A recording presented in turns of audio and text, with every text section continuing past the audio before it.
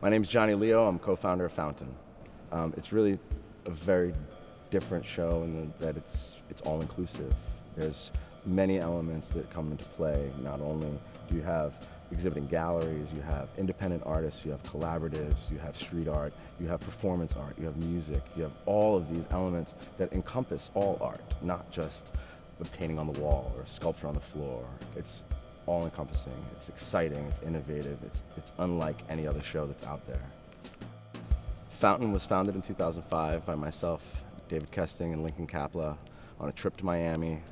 And we visited all the other shows. We went to Scope, we went to Basel, we went to all the big shows, but there was no, no representation of small, young, emerging talent and young, emerging galleries. Independent galleries were swept under the rug, and now we've created this show, Fountain, which has grown from three galleries in 2006 to in 2011 in New York City, we had over 60 galleries represented here at the 69th Regiment Armory. We formed a, a loving relationship with all the staff here, and really have a tremendous respect for the venue itself. Seeing that it was the home to the first contemporary art fair in 1913, where our favorite Papa Duchamp dropped Nude Descending a Staircase on a, a very skeptical and hesitant audience. I think Marcel Duchamp would be thrilled to see that his style and his influences span such a long, long time period. What keeps this show going is not just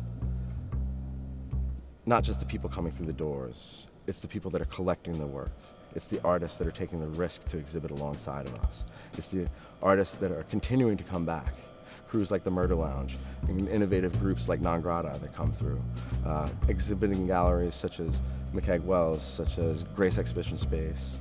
Uh, Fountain is going to continue to grow. Not only will it continue to captivate audiences in New York City and Miami, but it will also expand you know, what separates us from all the other shows as well is the accessibility. There's always a musical element, there's an interactive element, there is a performative element that's wandering through the space and meandering and engaging everybody.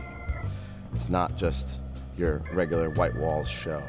But again, it all the greatest thanks goes to the artists, to the continuing exhibitors and galleries that help make this show what it is.